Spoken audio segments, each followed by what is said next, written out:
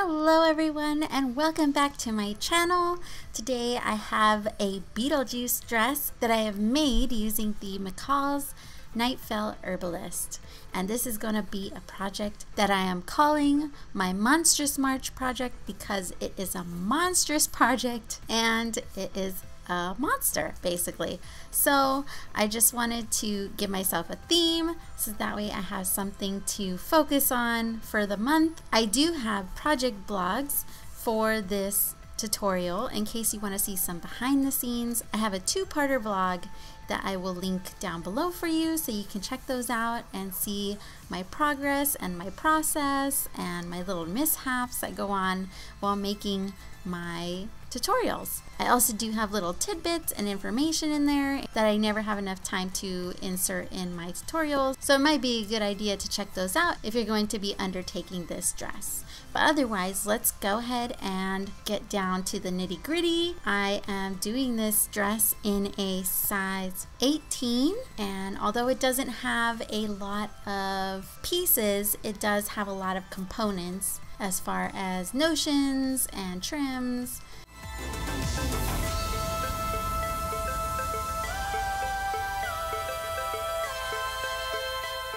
So I did make a list lining out what each of the sections is and what fabrics I'm using for it so you have an idea of how much you're going to need of each. It was very confusing to figure out which one was contrast A, what was lining B, what was petticoat C. So I wrote it all out so hopefully it's a little more understandable this way. You can see what fabrics are meant for what. And they didn't list out the measurements of the trims so I did put out how much of each trim that I use so you know for yourself in case you're going to be adding trims to yours as well. Go ahead and cut out all of your pieces mark your dots and your notches like usual.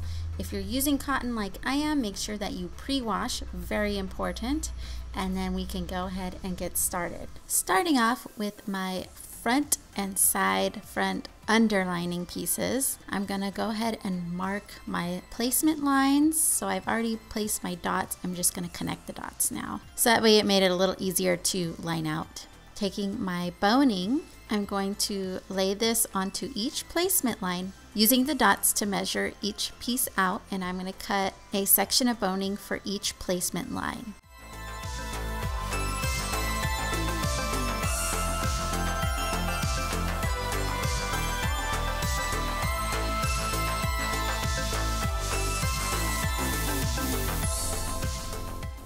Grabbing my iron, I'm going to iron these so that way they lay flat to get rid of that curve that they have. So I'm just going to go over it a little bit and it will begin to lay flat. So I'm going to do this to each of my pieces. I'm going to take another boning piece and this is going to go right in the middle. So first I'm going to start measuring from the very top edge to the very bottom edge, right down the middle of my front piece and then you're going to take away 1 and 3 fourth inches to accommodate for seam allowances. So I'm going to iron this one flat as well.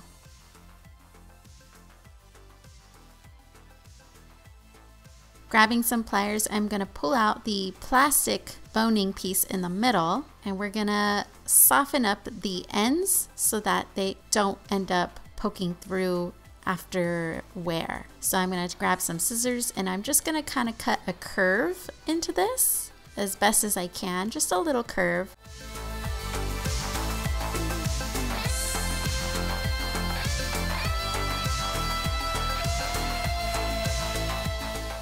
and then I will take just a cheap little nail file and I'm going to go and file it down till it's a nice smooth curve. And I'm going to do this to both ends.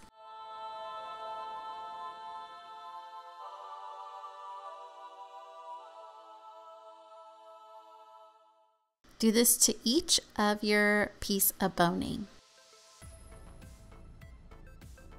We're going to sew down the fabric channel on the placement line. So I'm going to line up the center of my channel with the placement line and I will pin this all the way down to hold it in place. And I will do this to all of my boning channels.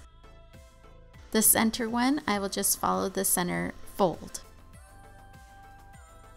Make sure to have your 5 8 inch seam allowance on the top and bottom.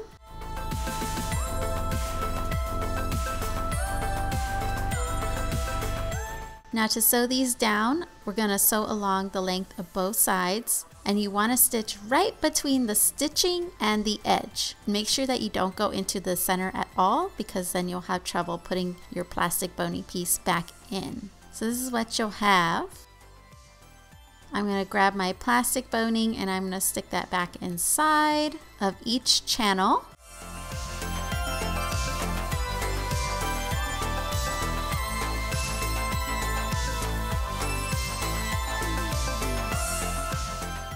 I'm to flip all of my pieces right side up. Taking my front lining piece, now this is a pattern piece only because I cut out my piece upside down. So this is now a lining piece. But we want our underlining piece face up and you want your lining piece face up. And then you're to pin all the sides together.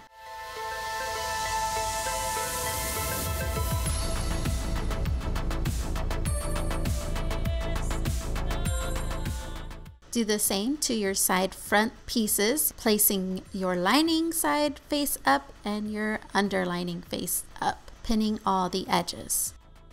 So this is what it'll look like.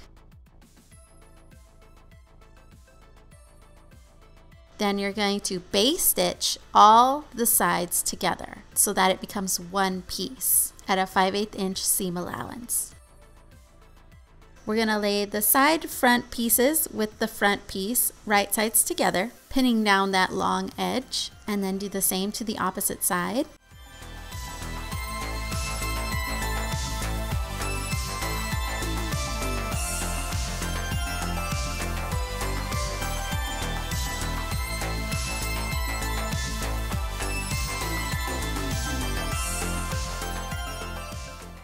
Sew these sides at a 5 8 inch seam allowance.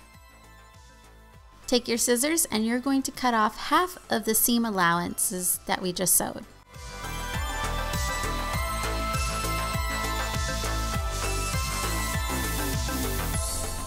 Now on mine, we're supposed to open up this seam allowance and iron it open and then place another boning channel right in the middle. But as you can see here, my seam is right along my last boning channel and they are gonna overlap if I end up doing that and we don't want that because that's not gonna work. So I ended up problem solving this by just keeping the seam allowances closed and I'm just gonna iron them to the side toward the center front and then place the edge of my channel along the seam right in between the other two boning. And that seemed to work just fine. So same thing on the other side, I will just face the seam allowance toward the center front.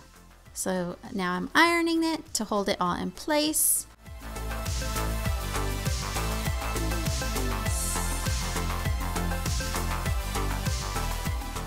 And then I'm going to take a piece of boning, measure from top to bottom and then take away one and three fourth inches and you're going to need two of these pieces. Iron your boning pieces flat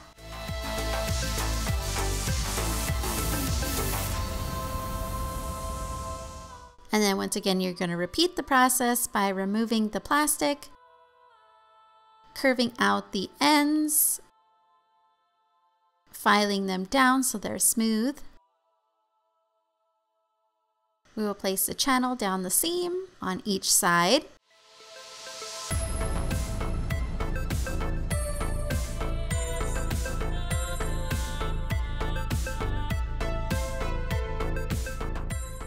Sew these on along both sides. Reinsert your plastic boning.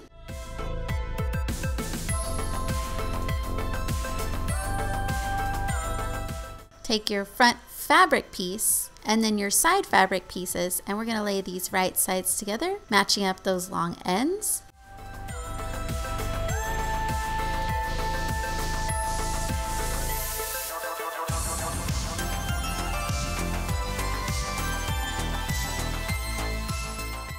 Sew these on at a 5 8 inch seam allowance. Trim off half of your seam allowance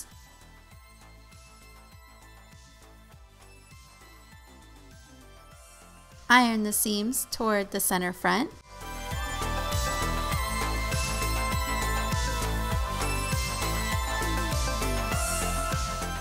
Lay your lining and your fabric section right sides together, matching up that bottom edge, pinning it together. I did pin up the side here, but I take those out in a minute, realizing we're not doing that side yet. Sew this bottom edge at a 5 8 inch seam allowance.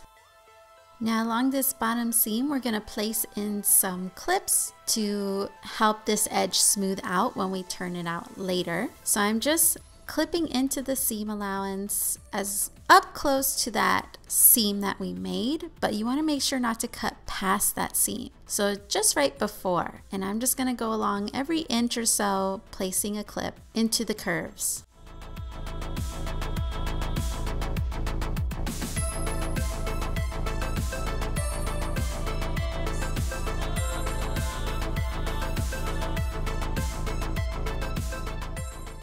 Cut off half of this seam allowance.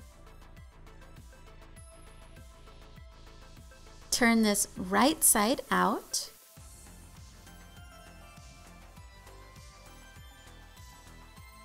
And you can use a chopstick or a pencil to help those edges at that point turn out easier. Once it's all turned out, even out the edges and we're gonna press this all in place.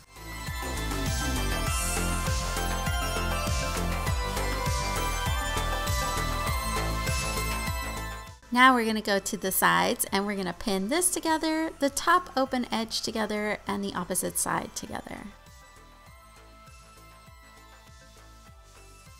Base stitch these three sides at a 5 8 inch seam allowance.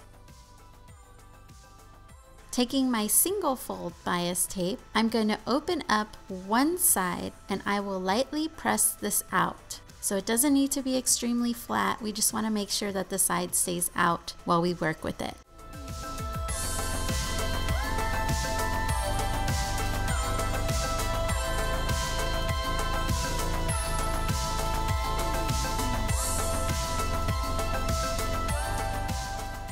the top edge of our bodice, we're going to line up that folded edge of the bias with that seam allowance that we made. So you want to line it up as best you can right on top and pin it in place. And you're going to go along the whole top edge here.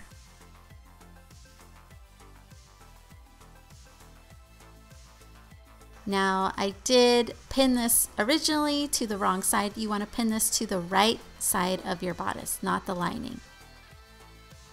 Sew over that 5 8 inch seam allowance, sewing this together. Cut off the seam allowance right up against that bias tape edge.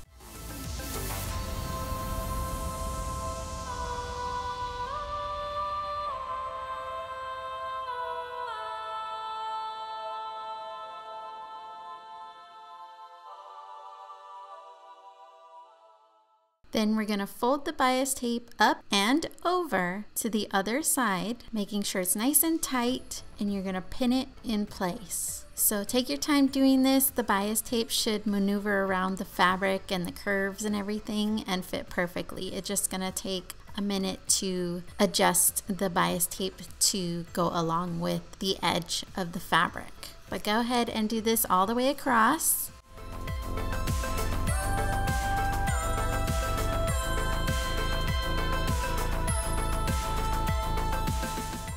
Slip stitch this down and then also stitch across the ends to hold them in place. Taking your number three bodice side back underlining pieces, we're gonna add our boning to these placement lines as well. So remember, you're just gonna measure them out for each placement line, iron them flat, pull out your plastic boning, curve off the ends, file them down. Sew on your boning channels onto the placement lines. Reinsert your plastic boning. And then turn these right side up. And we're gonna take our bodice side back lining pieces laying them once again right side up as well, pinning them together on all sides. Do your 5 8 inch base stitch to make this into one piece each. Open up your number 4 bodice back underlining pieces and we're just going to lay our bodice back lining pieces on top, right side face up. Pin up all these sides.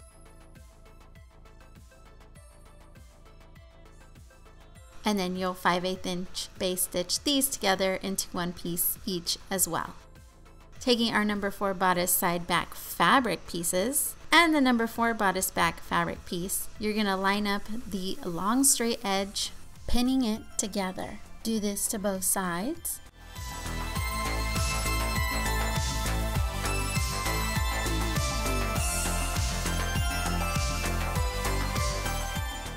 Sew these at a 5 8 inch seam allowance. Grab your lining pieces for your bodice side back and same thing in your bodice back pieces, we're gonna line up that long straight edge and pin them together. Sew this at a 5 8 inch seam allowance, Cut off half of the seam allowance on all four pieces.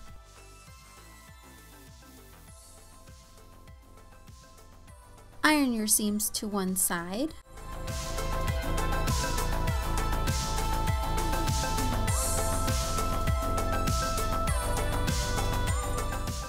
And then here I'm doing it on the fabric, but you actually want to do this on the lining. And on that short sided edge, you want to fold it over 5 8 inches and iron it down. So you can see here, I'm correcting myself and doing it on the lining instead. But I realized this much later, which is why it's already attached to the whole bodice, as you can see.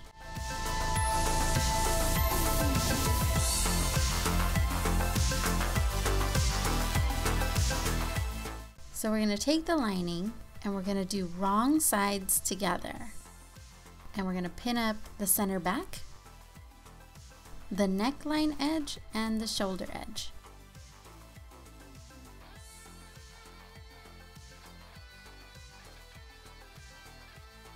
Base stitch these together at a 5 8 inch seam allowance.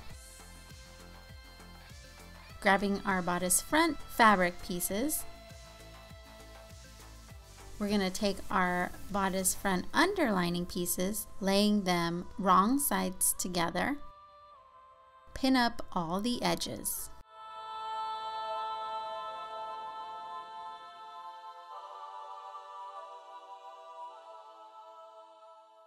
Do a 5 8 inch base stitch, creating one piece. You also want to do a base stitch along the dart lines.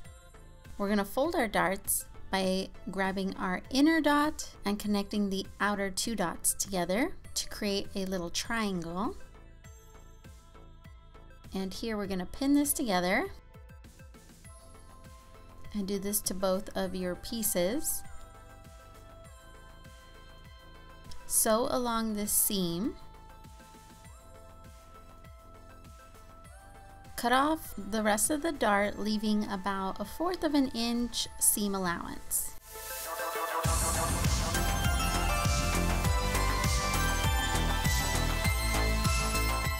Iron these seams open.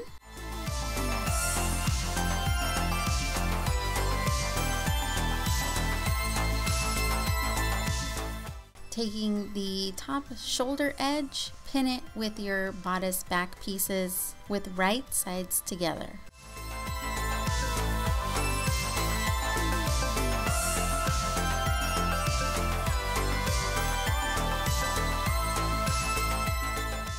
Sew this at a 5 8 inch seam allowance. Cut off half of the seam allowance.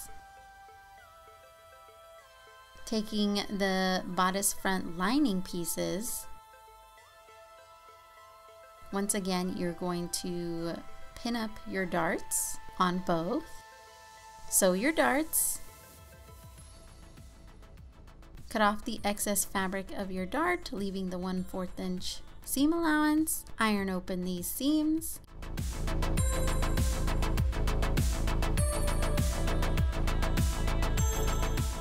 Taking the back facing, we're going to finish the bottom edge. So you can do this by serging it or you can just do a zigzag stitch. It's up to you, but basically you just want to finish this bottom lower edge to keep it from fraying. And then I will match the shoulder seam of the lining with that shoulder seam on the back facing. It should be that smaller straight edge.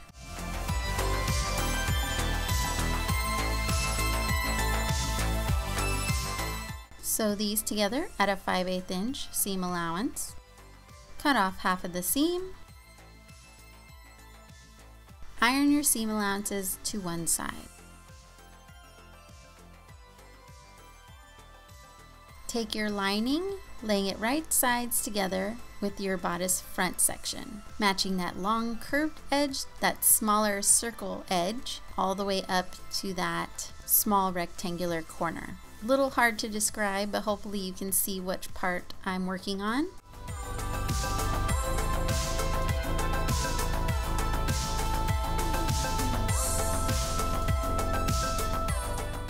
Sew this with a 5 8 inch base stitch. Along the curves in that seam, we're going to place some clips and instead of a clip, we're going to just cut out little triangles. So essentially it's doing the same thing, we're just taking away a little more fabric this way since it's a little bulkier than the last one. So you're just gonna make little triangles, making sure not to cut past the seam about every inch or so apart along the curves.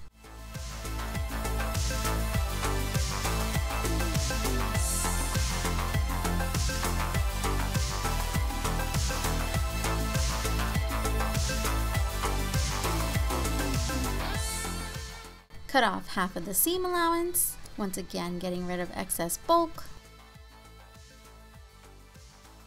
Turn this right side out.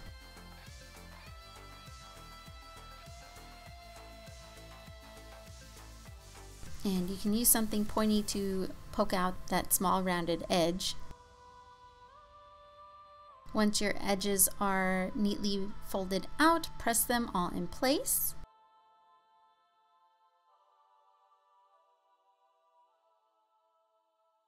Going to that shorter open edge, we're going to pin this together on both sides.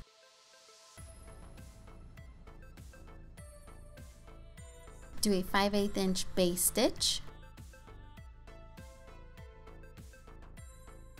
Taking my front piece now with your right side face up, we're going to take the jacket bodice, matching that short edge along the short edge of the front bodice.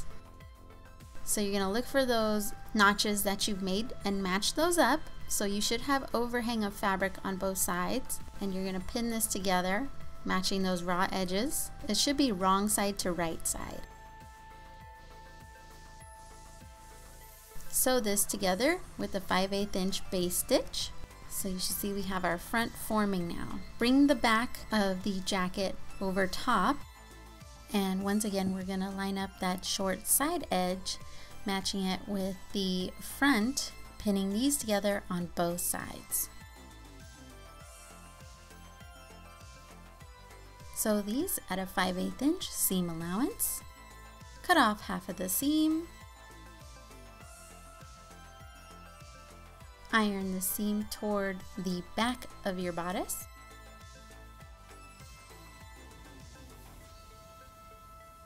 Now take the lining and place it over that folded seam allowance, lining up the folded edges and pin them together. So your seam allowances should be sandwiched between your lining and the bodice front now to give you a really nice finished edge.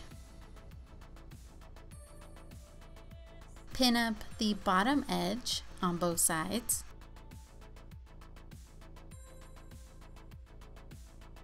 Slip stitch the sides of the bodice closed and then do a 5 8 inch base stitch on the bottom edges.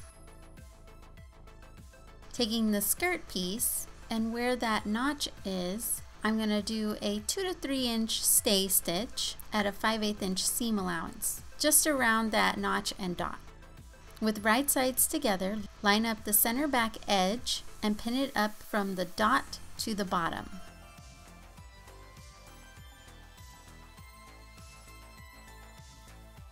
Sew this together at a 5 8 inch seam allowance, stopping at the dot that you've marked. You're going to make a clip where that dot is marked into the seam, making sure not to cut past your seam allowance.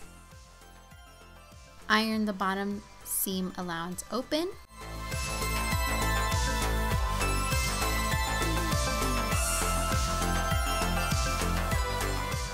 Do the same thing to your lining pieces. So we have two identical skirt pieces. With right sides together, match your lining to your skirt, pinning up all around that outside edge.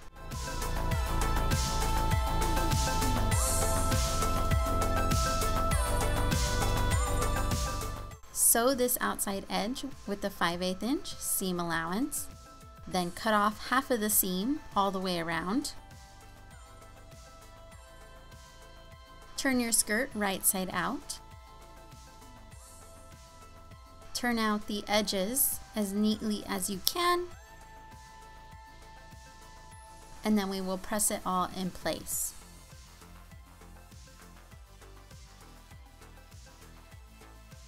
At the top edge of your skirt, we're going to pin it together all the way across on both sides.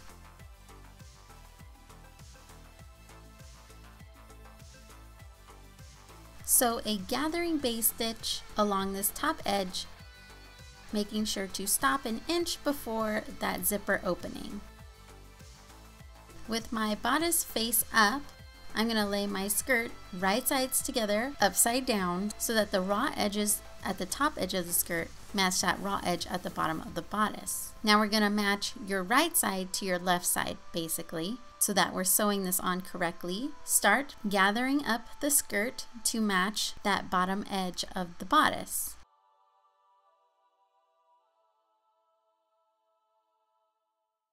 You can start by matching the dots that are marked and the edges.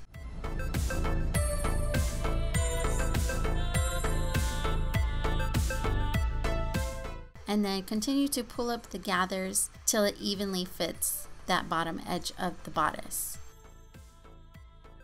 Distribute your gathers evenly and once you're happy with the placement of all of your gathers, pin it all in place.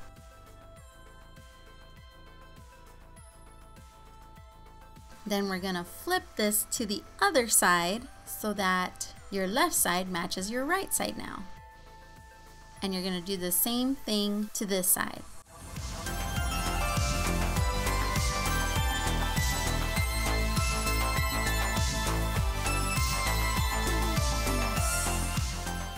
Sew these together at a 5 8 inch seam allowance.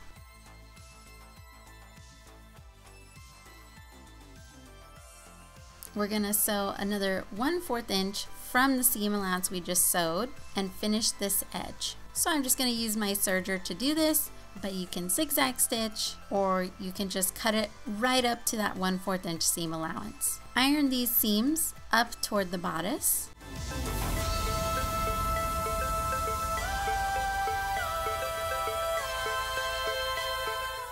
That little inner corner there, you're going to slip stitch to the middle bodice just to keep it from opening up.